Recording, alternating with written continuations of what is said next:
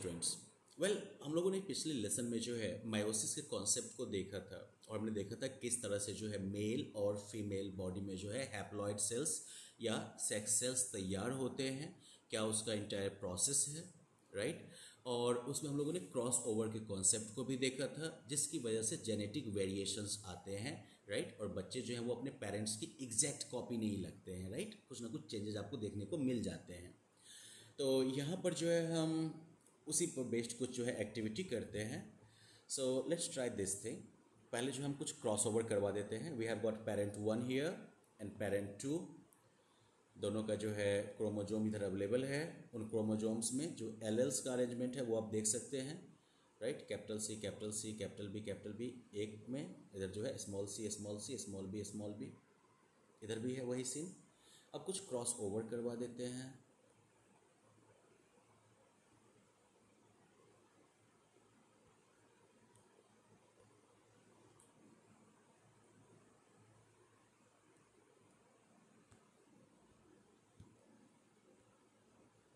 Right तो चलिए हमने जो है क्रॉसओवर कुछ तो करवा दिया इधर। पेरेंट टू में भी जो है कुछ क्रॉस ओवर करवा देते हैं।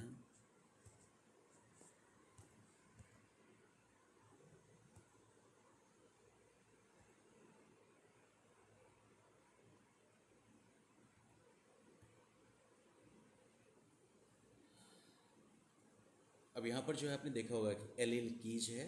बेसिकली कैपिटल लेटर में जो दिया हुआ है आपको, ये डोमिनेंट ट्रेट्स होते हैं, यानी कि वो ट्रेट जो कि विजिबल रहेंगे, और ये रिसेसिव ट्रेट हुआ, वो ट्रेट जो कि कम्प्लीटली मैनिफेस्ट या दिख नहीं पाता है।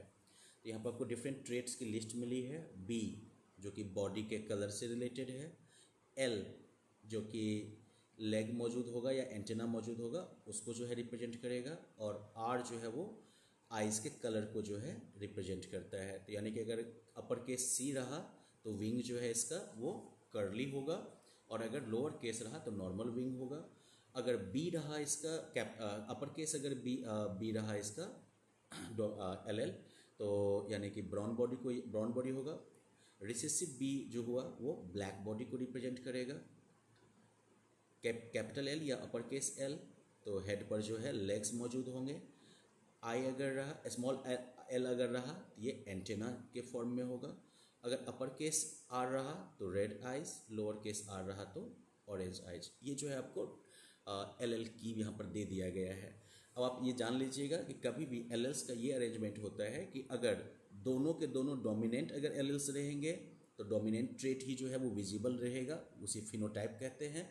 अगर एक डोमिनेंट और एक रिसेसिव रहा, तब भी जो है आपको डोमिनेंट वाला ट्रेट ही दिखेगा, ठीक है ना? लेकिन जीनोटाइप जो होगा वो अपर केस सी और स्मॉल सी हो जाएगा लोअर केस सी हो जाएगा। अगर दोनों के दोनों रिसेसिव रह गए एल तो ऐसे में जो है, क्या होगा? रिसेसिव वाला ट्रेड जो होगा वो दिखेगा आपको।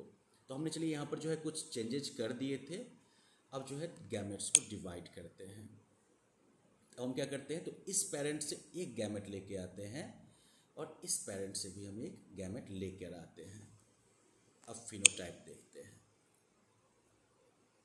अब यहाँ पर देखिए पूरा का पूरा जो है हमको डोमिनेंट वाला ही दिख रहा है इधर।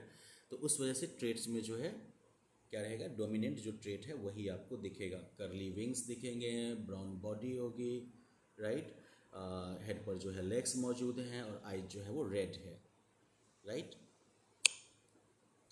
अब चलिए फिर से हम क्या करते हैं इस बार? आइज़ को जो है हमने यहाँ पर चेंज कर दिया है। राइट अब हम गैमेट्स को डिवाइड करते हैं। अब क्या करते हैं? तो हम जो है एक ये वाला लेते हैं और एक ये वाला गैमेट हम उठाते हैं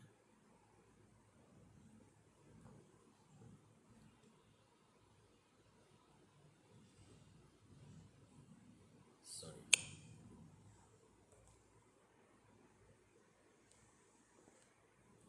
राइट गैमेट में डिवाइड कर दिया हमने। ये पेरेंट वन का गैमेट हुआ, ये जो है पेरेंट टू का गैमेट हुआ। लेट्स ब्रिंग इट हियर एक में देखिए डोमिनेंट आ रहा है, एक में जो है स्मॉल आ रहा है राइट सो फिनोटाइप तो सारा का सारा ट्रेड जो है वो रिसेसिव आया है, लेकिन आई जो है देखिए अभी भी रेड है। क्यों? क्योंकि एक डोमिनेंट जो है यहाँ पर जीनोटाइप मौजूद है, या एक जो है सॉरी एक रेड डोमिनेंट जो है एल मौजूद है, और उसी वजह से जो जीनोटाइप बना, वो upper case R lower case R बना, और ऐसे में चूँकि एक डोमिनेंट मौजूद है एल तो इसी का ट्रेट जो है, वो विजिबल हुआ, और इसीलिए इसका आई जो है, वो अभी भी रेड दिख रहा है। चलिए, फिर से वापस चलें। इस बार जो है लेग्स ऑन हेड जो है, उसको जो है, हम चेंज कर देते हैं। तो ये वाला एल हम लेंगे इधर।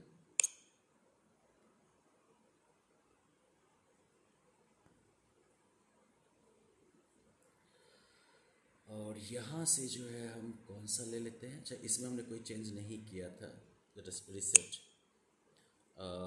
इस बार हमने जो है क्या किया? यस ये पूरा का पूरा चेंज किया हमने इधर, और इधर भी हमने जो है चेंज किया है। अब डिवाइड करते हैं इसको गैमेट में। Let me have this one, and then I am having this one. अब फिनोटाइप देखिए। अब यहाँ पर क्या है कि आपको जो है दो ट्रेट जो है वो डोमिनेंट वाला दिख रहा है। करली विंग्स हैं अभी भी और ब्राउन बॉडी है। लेकिन अब जो है यहाँ पर देखिए हेड लेग्स नहीं मौजूद है हेड पर। एंटेना टाइप का स्ट्रक्चर जो है वो मौजूद है। और इसके अलावा आई जो है वो रेड नहीं है। ये अब ऑरेंज कलर का हो गया है। राइट लेट्स रिसेट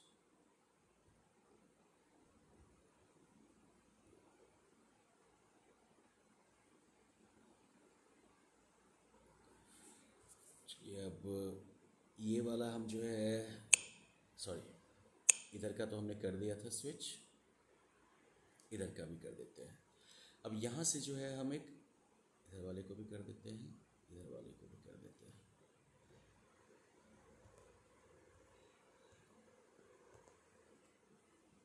राइट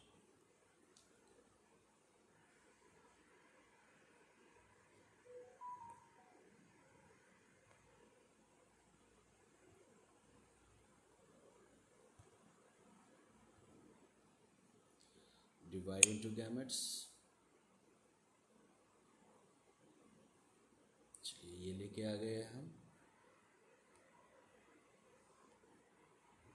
और ये वाला गैमेट लेके आए अब देखिए यहाँ पर क्या है कि विंग्स वाला जो एल एल है, वो दोनों का रिसेसिव ही है।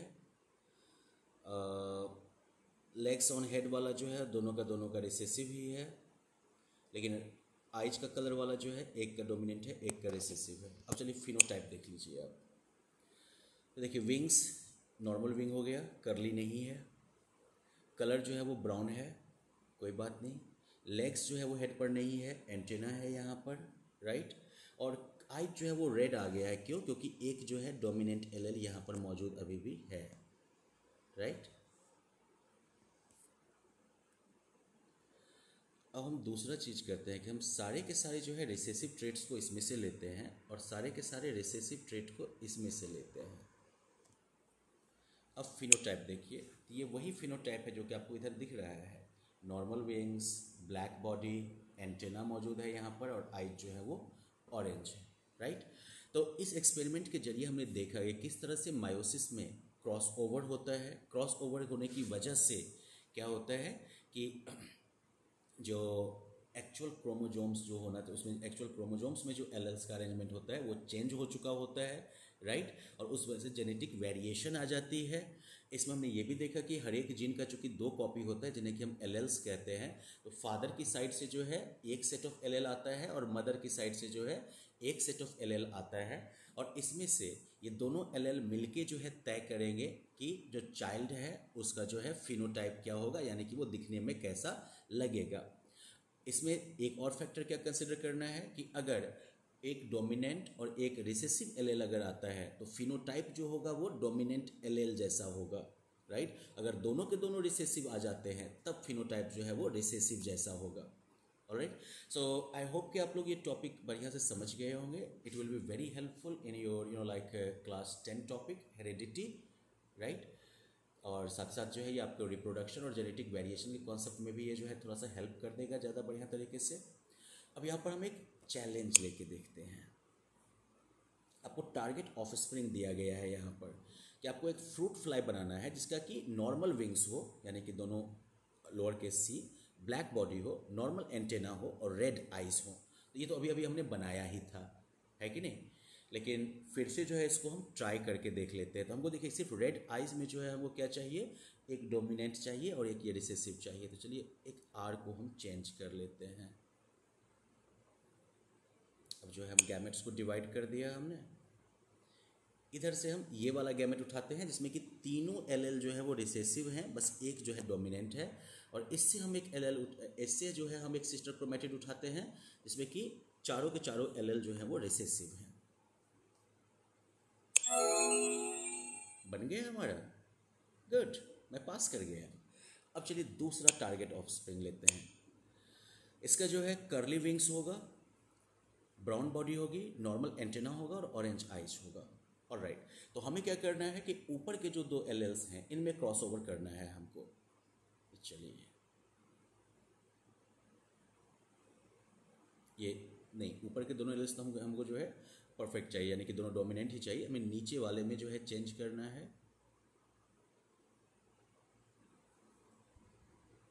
गुड अब हम जो है गैमेट्स को डिवाइड कर देते हैं। देखिए, ये जो गैमेट है, इसके पास जो है दो डोमिनेंट ट्रेड्स हैं और दो रिसेसिव हैं। हमें ये दो रिसेसिव ही तो दिखाना था। तो चलिए हम ये उठा के ले आते हैं इधर। और इधर से हम सारा का सारा रिसेसिव ही उठा लेते हैं। वैसे करने के लिए हम इधर भी चेंज कर सकते थे। अब जो है हम फिनोटाइप चेक करके देखते हैं। ओ सॉरी मैंने क्या गलती कर दी? एंटीना चाहिए था, वो मैंने ले लिया था।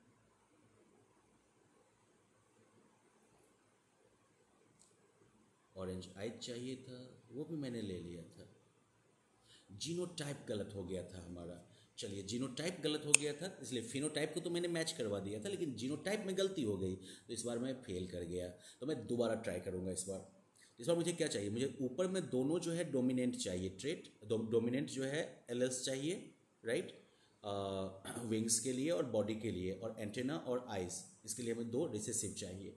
तो इधर हमने चेंज कर दिया, नहीं, इधर चेंज नहीं करना है हमें। इधर हमने चेंज कर लिया। इधर जो है हमें दो स्मॉल स्मॉल चाहिए तो इधर भी क्या करेंगे हम? दो को चेंज कर लेंगे। अब ट्राई करते हैं गैमेट को डिवाइड करने का। अब हम इधर से जो है इस पर्टिकुलर गैमेट को उठाते हैं। यहाँ पर कि दो डोमिनेंट है, दो रिसेसिव है। यहाँ से हम इस एल एल को इस क्रोमेटिड सिस्टर क्रोमेटिड उठाते हैं, जहाँ पर कि अगेन दो डोमिनेंट एल एल्स हैं और दो रिसेसिव एल एल्स हैं राइट अब देखिए करेक्ट हो गया, क्योंकि इस बार हमारा जीनो टाइप भी मैच कर गया राइट क्योंकि हमारा जीनो टाइप क्या होगा, देखिए स्मॉल एल स्मॉल एल और स्मॉल आर स्मॉल आर नीचे में हो गया ये पेयर राइट और ऊपर में क्या है कैपिटल सी कैपिटल सी और capital B capital B exact हमारा मैच कर गया now, we are going to take third offspring इसमें हमको देखिए तो करली विंग्स चाहिए, लेकिन एक कैपिटल सी एक स्मॉल सी ब्लैक बॉडी में दोनों जो है ऑफ़ कोर्स स्मॉल भी ही रहेगा नॉर्मल एंटेना तो स्मॉल एल ही रहेगा, और रेड आई चाहिए, वो भी दोनों जो है कैपिटल आर वाला एल एल होना चाहिए। तो चलिए हम क्या करते हैं कि इसको कैपिटल छोड़ते हैं। बॉडी वाले को जो है हम चेंज करते हैं राइट इधर जो है एंटेना वाले को हम चेंज कर लेते हैं राइट अब इधर से हमको क्या चाहिए? तो इधर से हमको एक सी जो है, वो चाहिए स्मॉल वाला राइट तो चलिए उसके लिए भी हम चेंज कर लेते हैं कि बॉडी वाला जो है हमारा स्मॉल हो गया। सी भी हमारा जो है वो स्मॉल ही रहना है। नॉर्मल एंटेना चाहिए तो यानी कि हम जो है एल को भी जो है स्मॉल करेंगे।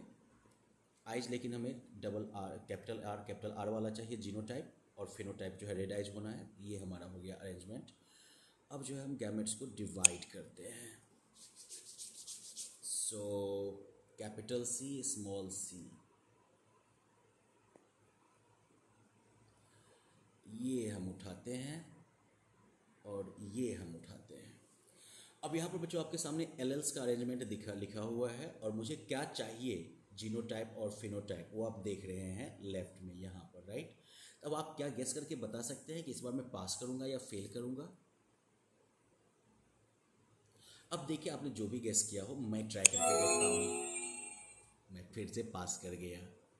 I am getting better at this now let me try fourth offspring अब यहाँ पर नॉर्मल विंग्स चाहिए small C small C brown body चाहिए, यानी कि, जिसमें कि जीनो टाइप क्या रहेगा? Capital B small B legs on head यानी कि, और उसमें भी जीनो टाइप क्या चाहिए? कैपिटल एल स्मॉल एल और ऑरेंज आइज़ दोनों का, दोनों जो है स्मॉल आर तो पहले मुझे जो है क्रॉस ओवर करवाने दीजिए अपने हिसाब से।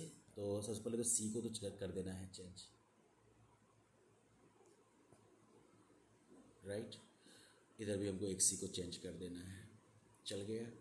ब्राउन बॉडी में इसका बी जो है हमको कैपिटल रखना है। इसका बी जो है हमको क्या चाहिए?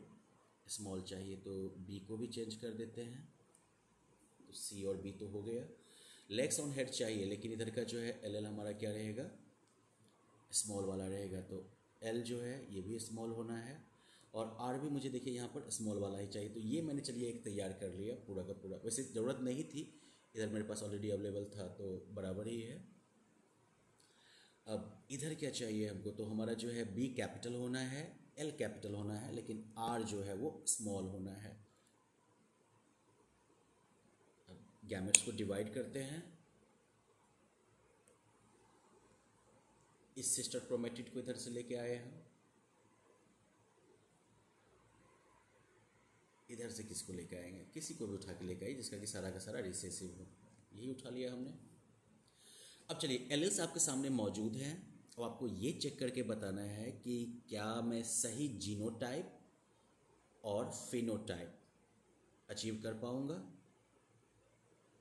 Let's see great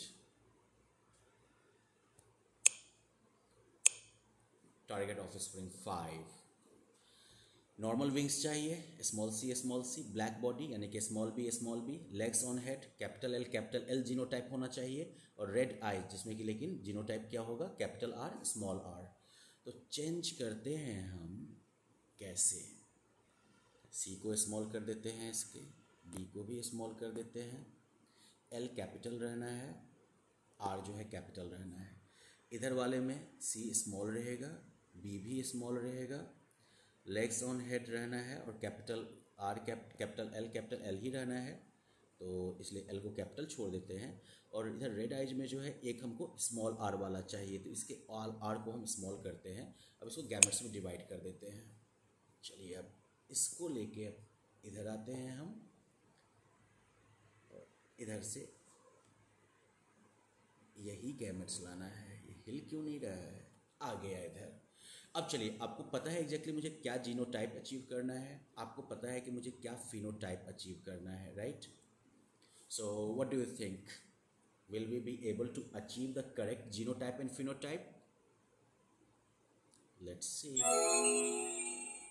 I got it so well चलिए, मुझे लगता है कि इस बार पप्पू पास हो गया राइट?